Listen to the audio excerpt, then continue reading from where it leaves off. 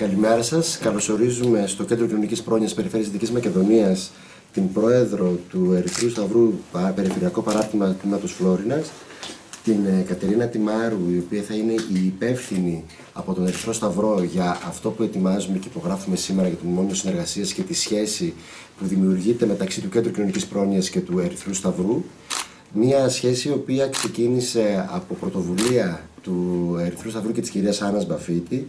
Μία ε, σχέση η οποία ελπίζουμε να έχει ως αποτέλεσμα την, ε, τη δυναμική των παιδιών προς την εκπαίδευση, προς τα γράμματα, προς, την, ε, προς το χορό, προς το πολιτισμό, να μάθουν πράγματα τα οποία δεν τους δίνει τη δυνατότητα να τα γνωρίσουν.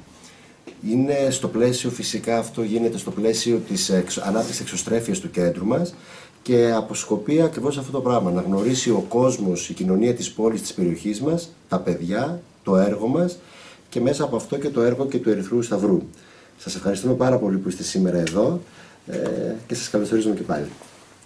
Να ευχαριστήσουμε και εμείς ε, με τη σειρά μας το Κέντρο Κοινωνικής Πρόνοιας, ε, τον Γιάννη τον Μπαρδάλη και την Ολυμπία Τσάτσα που ανταποκρίθηκαν άμεσα στην πρότασή μας Ξέρετε, όταν ε, η εθελόντριά μας η Ιωάννα Χατζή ε, πρότεινε αυτή την ε, δράση κατά τη διάρκεια μιας συνάντησης σχεδιασμού, ενθουσιαστήκαμε όλοι και όλες.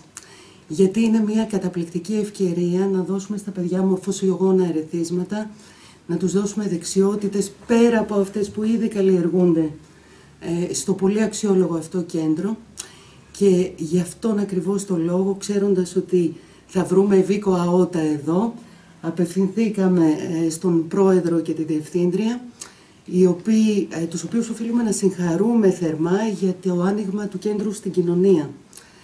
Ε, το συγκεκριμένο λοιπόν πρόγραμμα παρεμβάσεων, για το οποίο θα μας ενημερώσει πολύ, αναλυτικά, ή πολύ πιο αναλυτικά η Κατερίνα Ιμάρου, ε, περιλαμβάνει δραστηριότητες οι οποίες εκτός από όλα όσα ανάφερα ε, ανέφερα θα δώσουν τη δυνατότητα στα παιδιά να περάσουν και καλά.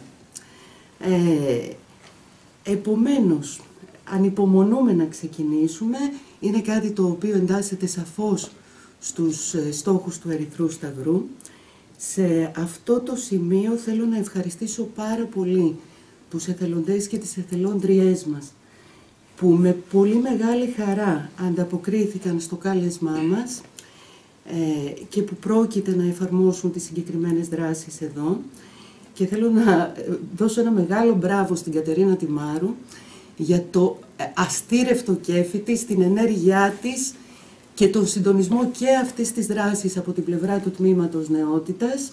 Κατερίνα, νομίζω ότι μπορείς να πεις κάποια περισσότερα Ευχαριστώ πράγματα. πάρα πολύ πρόκειται για μία δράση που στοχεύει στην ανάπτυξη διάφορων δημιουργικών δεξιοτήτων των παιδιών. Θα κάνουμε δημιουργική γραφή, ε, παραδοσιακούς χορούς και εκμάθηση κάποιων τοπικών χωρών μέσω της γεωγραφίας, γεωγραφικών γνώσεων, όπως επίσης ε, κάποιοι εθελοντές μας θα εμφυσίζουν τα παιδιά τις αξίες της Ευρωπαϊκής Ένωσης, θα τους φέρουν σε επαφή με τους θεσμούς και διάφορες γνώσεις σχετικά με, την, ε, με τον τρόπο λειτουργίας των ευρωπαϊκών θεσμών.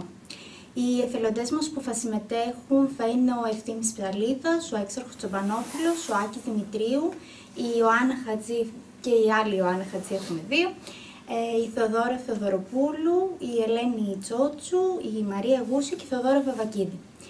Ε, δέχτηκαν τα παιδιά με μεγάλη χαρά και είχαν πάρα πολύ όμορφες ιδέες για να τις εφαρμόσουμε με τη βοήθεια φυσικά του κέντρου πρόνοιας ε, και ιδιαίτερα του κύριου Παρδάλη που ήταν ιδιαίτερα δεκτικός στις ε, προτάσεις μας και είναι πολύ μεγάλη μας χαρά που θα συμμετέχουμε σε όλο αυτό.